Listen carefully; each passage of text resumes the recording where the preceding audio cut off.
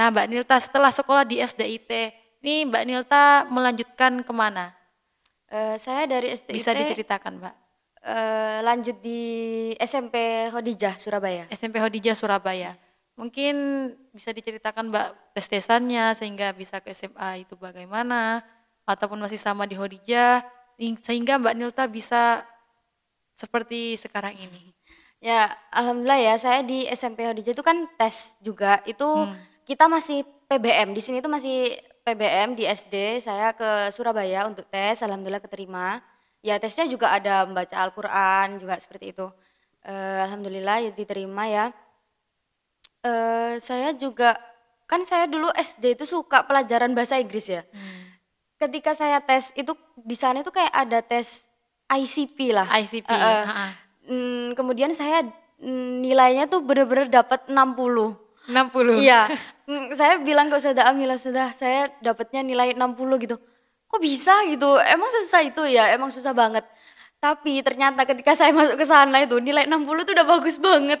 nilai 60 tuh udah bagus banget Itu guys. 60 tuh, eh, antum itu terbaik itu berarti.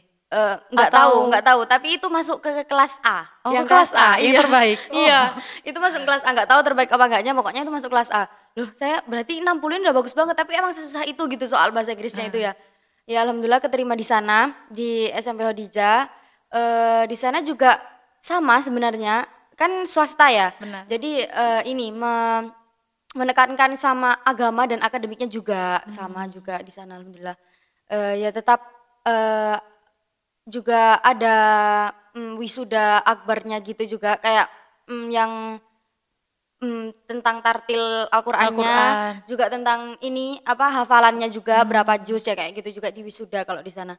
Ya alhamdulillahnya saya di sana juga eh, lumayan ya, lumayan bisa mengasah bakat saya juga. Kalau di sana saya yang eh, ikutnya banyak itu lomba eh, tentang apa OSN itu PAI.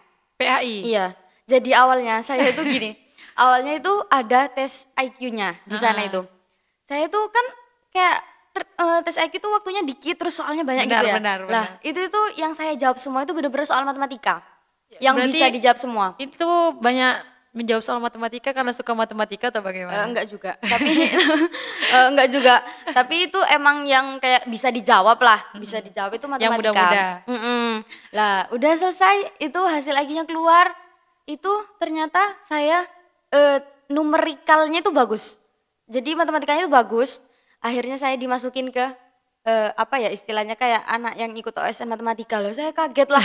saya nggak suka matematika juga nggak suka ikut hitungan kan ya. Langsung dimasukkan Heeh, itu. Langsung dimasukkan ke sana, disuruh ikut bimbelnya kayak gitu. Tapi akhirnya ya saya kan kurang bisa ya, kurang minat juga ke matematika. Akhirnya saya juga ya astagfirullah itu sering bolos. Sering bolos bimbel bimbel matematika. Lah, tapi habis itu saya ditawari eh, gini ya. eh, saya tuh sering ikut lomba internal di sekolah itu tartil. Hmm, Nah, tartil. tartil Al-Qur'an. Nah, sama guru agama saya saya ditawari ikut lomba PAI gitu. Ayo coba ikut lomba PAI gitu. Itu satu tim itu dua orang. Itu tingkat mana itu? Eh, Surabaya. MKKS, MKKS. Itu Surabaya. Itu tuh eh jadi itu ada tiga bidang gitu ngerjain soal eh, tartil sama azan. Jadi kan cowok cewek. Eh, akhirnya saya ikut tartilnya, terus eh, yang azan ya teman saya. Habis itu mengerjakan soalnya ya bareng-bareng itu. Eh, ya itu alhamdulillahnya ya sering mm, juara juga sih di PAI itu. Oh, berarti sering mengikuti lomba PAI itu. Iya, alhamdulillah. Itu tingkatnya nasional atau Eh, enggak. antar sekolah atau bagaimana? Iya antar sekolah se Surabaya. Se Surabaya. Oh, subhanallah. Hebat sekali ya ini Mbak Nilta ini yang memang awalnya dari SDIT sering mengikuti lomba-lomba dan lain sebagainya sehingga bisa tertular sampai ketika SMP. Nah, SMA-nya di mana, Mbak? Eh, saya lanjut SMA di Aroma Putri Malang. Ar-Rahmah. Iya, Oh, Aroma Putri Ar-Rahmah Malang. Putri Malang. Eh, jadi saya tes di sana itu juga saya tuh kelas 9 pas itu lagi ada tur ya ke Bandung ke Jogja. Nah, habis saya tur pulang tur itu besoknya saya langsung berangkat ke Malang untuk tes. Tes Untuk ke tes ke ini. Ar-Rahmah itu. Mm-mm. Tes Kenapa sana, memilih Ar-Rahmah, Mbak? Eh, saya soalnya pengen mondok ya.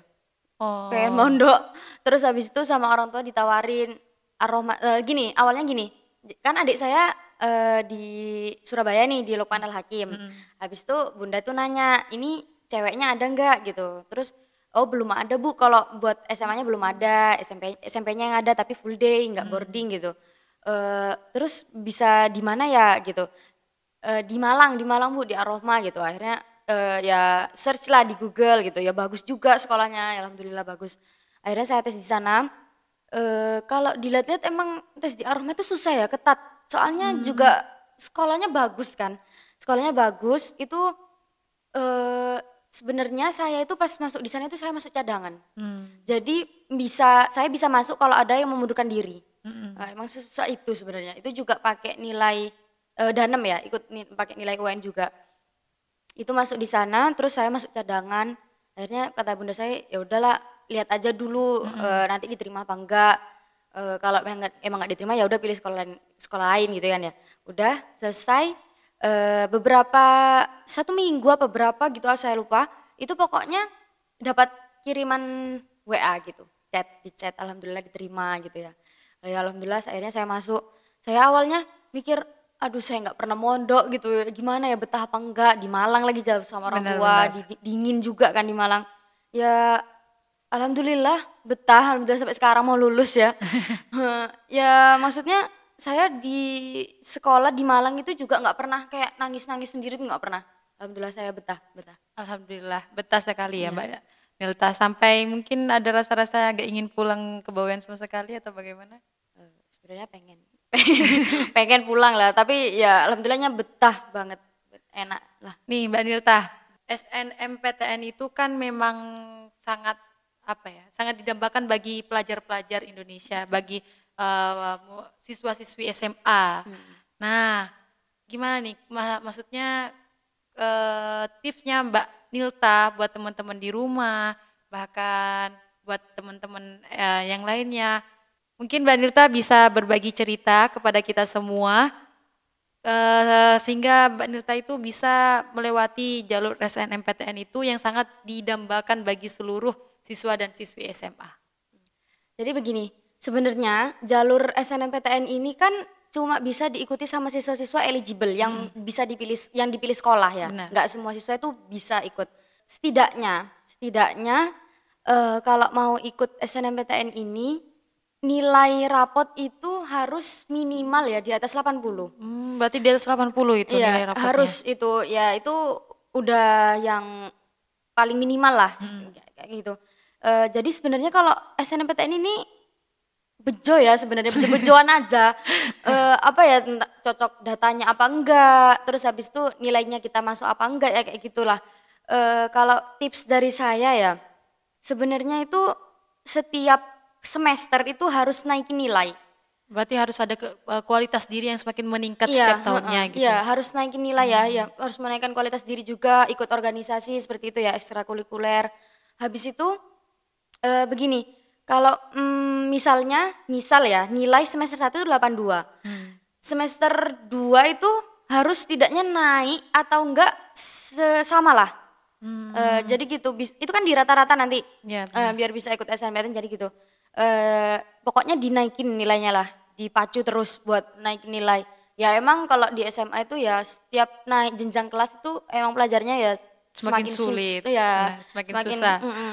Jadi ya harus belajar rajin. Alhamdulillah saya ya kalau misalnya di pondok itu saya lumayan rajin belajar dibandingkan saya eh, hidup mm, SMP atau SD gitu kan masih ada HP, masih megang HP gitu juga mm, masih minat belajar itu masih sedikit. Kalau di SMA kan misalnya kita melihat teman kita belajar itu jadi terpacu kita aku Benar, harus benar. belajar juga gitu. Aku harus bisa ngungguli dia kayak gitu kan.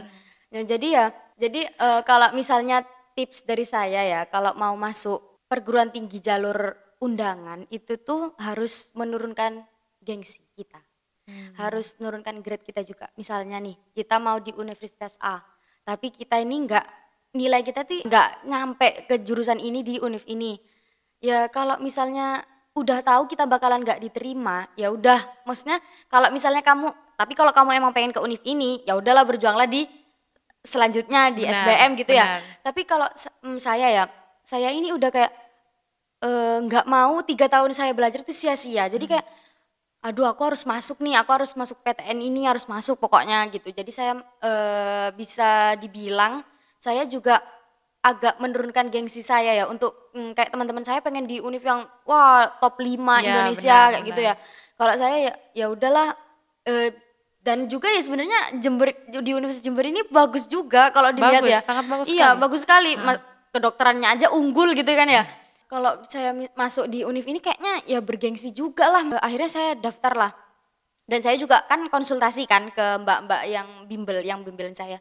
Mbak kira-kira di mana nih yang cocok sama nilai saya? Di sini aja deh gitu. Kayaknya kamu masuk deh kalau ini. Awalnya saya nggak dibolehin sama orang tua. Soalnya jauh juga. Terus saya kayak aduh di mana ya kalau misalnya yang yang lain, yang univ lain yang dibolehin itu tuh menurut saya sih eh, kayaknya bakalan nggak masuk gitu loh. Ya ya agak pesimis seben- sebenarnya. Tapi ya akhirnya saya ini ngasih alasan ke orang tua saya kenapa saya milih di sini. Ya positifnya bagaimana nanti resikonya bagaimana. Saya Menjelaskan Heeh. Eh, akhirnya orang tua saya alhamdulillah ngebolehin saya ya daftar di sana.